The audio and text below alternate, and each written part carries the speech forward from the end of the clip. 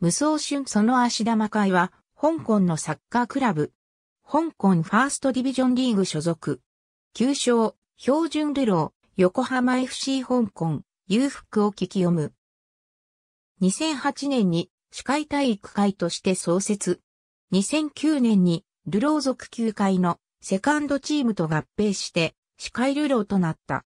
2011年に母体であった司会集団が経営から撤退し、スポンサー名を冠した標準ルローと改名。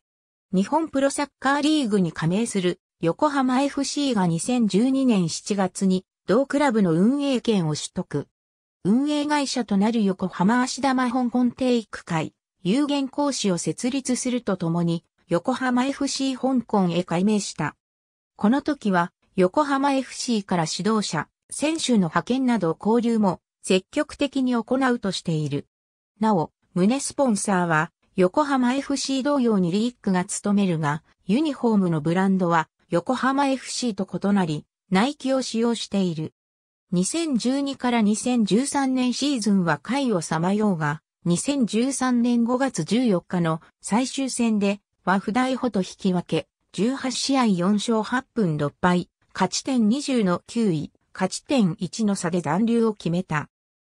2014年7月からは、香港の企業へ運営会社を変更。それに伴い、クラブ名もイエフシエンディへ改名した。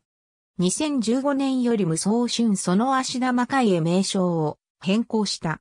中、選手の国籍表記は FIFA の定めた代表資格ルールに基づく。ありがとうございます。